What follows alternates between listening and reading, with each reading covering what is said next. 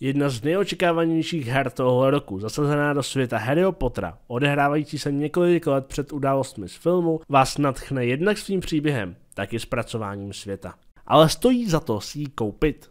Pojďme se na to mrknout. Toto video bude zároveň bez spoilerů, takže se nemusíte bát toho, že bych vám vyzradil něco z příběhu.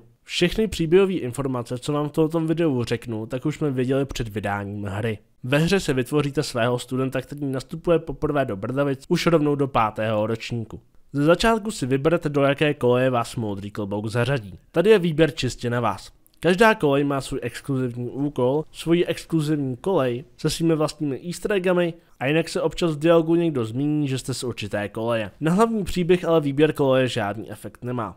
Takže pokud máte rádi Havraspár nebo i Merzimor, můžete si vybrat klidně jednu z těch dvou kolejí bez ohledu na to, že byste o něco přišli. Přijdete akorát o jiný exkluzivní úkoly pro danou kolej, ale to je tak nějak pochopitelný. Tady bych jenom ještě doporučil vybrat si Merzimor, protože za mě má Merzimor nejlepší exkluzivní úkol. Ve hře si budete moct vybrat i svoji vlastní hulku. Když tak jsem udělal i video o tom, jak získat bezovou hulku, odkaz tady na to video vám ještě tak hodím dolů do popisku.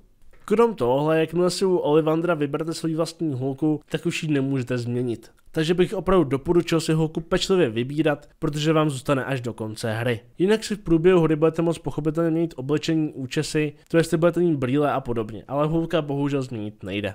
Hra vám ze začátku nabídne celý svět k proskoumávání. Tady bych akorát možná počkal, než dostanete lítací koště, protože jinak si to proskoumávání může docela dost prodloužit. Jakmile vám hra ale zpřístupní celý její svět, najdete tu spoustu hádenek, vedlejších úkolů, tábory s nepřáteli, které můžete postupně čistit, zachraňování fantastických zvířat a spoustu a spoustu dalšího.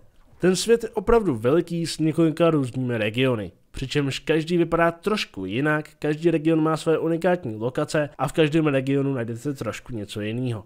A co se týče proskoumávání Brdavic, tak to je kapitola sama o sobě. V Brdavicích najdete také spoustu easter eggů, spoustu skrytých místností, chodeb a o různých vedlejších úkolů. Ve hře budete moci se svými nepřáteli bojovat několika způsobama. Můžete volit stealth, který je velice účinný, v podstatě zabijete skoro kohokoliv na jednu ránu. Kromě stealthu tak budete moct používat rostliny boji nebo lektvary. Pochopitelně nejzajímavější způsob tak je boj se samotnými kouzly kde budete mít možnost kombinovat několik kouzel najednou. To, v jaký kombinaci je budete používat, je čistě na vás. Na každého nepřítele platí něco jiného, což ale zároveň neznamená, že se tím musíte řídit pro nějaký větší poškození v boji. V podstatě si můžete nastavit kouzla, která nejvíce baví vás a vylepšovat si jejich vlastnosti a poškození a ve finále tou vaší zvolenou kombinací můžete porazit nepřítele pár kouzly. Co se týče příběhu, tak v něm bude hrát hlavní roli skřetí rebelie. A vy jakožto student, který dokáže používat prastarou magii, budete mít za úkol tu skřetí rebeli zastavit. A právě kvůli tomu, že dokážete používat prastarou magii, tak vás do Brdavic vzali rovnou do pátého ročníku. Co se týče příběhových úkolů, ty dokážou být poměrně repetitivní. Jelikož ty úkoly jsou dělané formou zkoušek, tak ty zkoušky se v podstatě vždycky opakují. Vždycky je tam testovaná sice nějaká vaše jiná vlastnost, ale základ těch zkoušek je vždycky stejný. Naštěstí nabízí hra spoustu vedlejších úkolů a aktivit, které vás dokážou zabavit. Naštěstí vedlejší úkoly jsou kolikrát daleko zábavnější, zajímavější a ukážou vám daleko víc ze světa Brdavic než právě hlavní příběh. Zároveň tohle ale neplatí pro všechny vedlejší úkoly.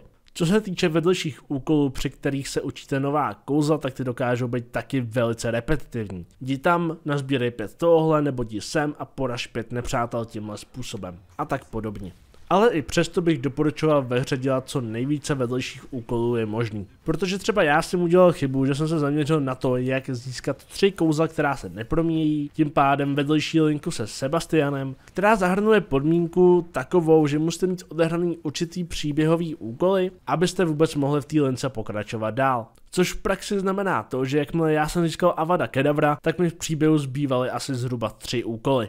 A jakmile jsem ty tři úkoly dodělal, tak jsem zjistil, že jsem hru stihl dohrát za 25 hodin. Takže mi ve hře zbylo spoustu vedlejších úkolů, které jsou třeba o 15 levelů nižší, než mám aktuální. Takže kromě vedlejší linky se Sebastianem, tak bych se opravdu zaměřil na ostatní vedlejší úkoly, protože jsou kolikrát opravdu zábavnější a zajímavější než právě ty hlavní příběhový. A pokusil bych se odprostit toho, že chcete získat Avada Kedavra, protože to získáte opravdu až na konci hry. A jakmile teda tyhle ty informace máte, pro koho je teda Hogwarts Legacy určena? Pokud jste fanouškem filmů nebo knih Harryho Pottera, tak pro vás je tady ta hra naprostou nutností. Svět je tu zpracovaný opravdu nádherně, takže i kdybyste neměli plnit mise a jen se procházet po světě, tak i přesto si myslím, že to bude stát za to a že budete s tou hrou spokojený. Pokud však ale nejste fanouškem světa Harryho Pottera, tak i přesto hra nabízí skvělou hratelnost, poměrně zajímavý příběh, zábavný souboje a obrovský svět na proskoumávání. A dovolil bych si říct, že se jedná o jedno z nejlepších RPGček minimálně za posledních 10 let. Hra pochopitelně není dokonalá. Občas se můžou vyskytnout nějaké bugy, zároveň má hra poměrně zdlouhavý začátek. Například lítací koště tak dostanete zhruba po 7 hodinách hraní. A některé vedlejší aktivity a úkoly tak by vyžadovaly trošku větší hloubku, Protože kolikrát ty vedlejší úkoly vypadají tak, že jenom dojdete na nějaký místo, tam něco zabijete nebo seberete a donesete to zpátky. A to je všechno. Takže vedlejší úkoly, které najdete ve světě, by vyžadovaly větší hloubku. I přes tohle všechno si ale myslím, že Hogwarts Legacy už rovnou teď patří mezi nejlepší hry tohohle roku. Možná bych si dovolil říct, že patří mezi jednu z nejlepších her za poslední roky. A pokud bych měl hře Hogwarts Legacy dát nějakou známku, tak bych jí udělal 9 z 10. Jak říkám, ta hra není dokonalá, ale tohoto hodnocení je podle mě naprosto zasloužený. Takže na závěr bych hru 100% doporučoval si koupit. Hra nabízí strašně moc obsahu a i kdybyste to dohráli jako já za 25 hodin a dál už nepokračovali, tak i přesto to za ty peníze vyplatí a i přesto si užijete strašně moc zábavy.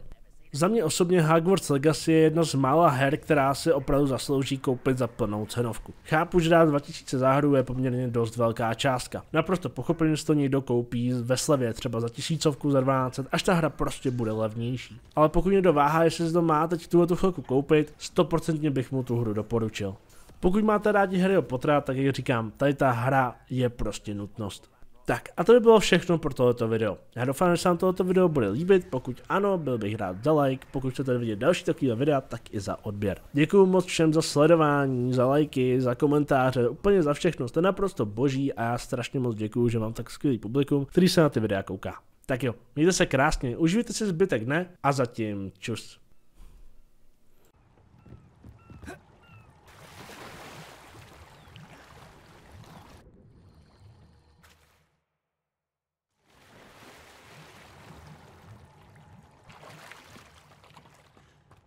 Revelio.